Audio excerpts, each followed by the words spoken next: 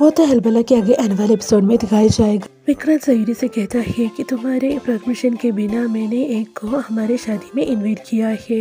ये सुनकर सयूरी हैरान हो जाती है। विक्रांत कहता है कि मैंने तुम्हारे पहला पति, तुम्हारा पहला आशिक खाना को इस शादी में इनवाइट किया है। अगर कोई और होता तो मैं पहले ही उसे मरवा देता। पर यह तुम्हारा पहला पति है, पहला प्यार है, इसलिए इसे मारना नहीं चाहिए, बल्कि इसका दिल टूटना चाहिए। इसलिए मैंने उससे इस शादी में बुलाया है। ये सुनकर सयूरी हैरान हो जाती है और साथ में खाना के बारे में सोचकर बहुत ही ज़्यादा दुखी भी हो जाती है। वो रोना शुरू कर देती है। जब वो देखती है तो खाना भी बहुत ही ज़्यादा दुखी होकर वहाँ पर आ रहा होता है।